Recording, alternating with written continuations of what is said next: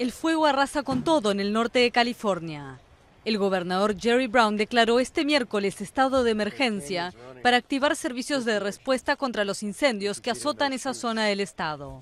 En total hay cerca de 30 incendios en el oeste de Estados Unidos, la mayoría de ellos 10 en California.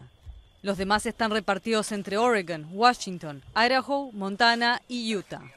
El fuego consumió 50 construcciones en California y actualmente amenaza 200 viviendas, 10 comercios y 30 edificios.